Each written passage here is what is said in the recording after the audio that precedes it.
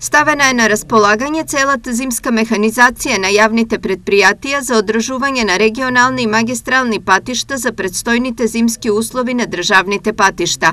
По обиколка на капацитетите на автопатските бази, Министерот за транспорт и врски Благој Бочварски е уверен во подготвеноста на зимската служба да обезбеди сигурни и чисти патишта низ државата.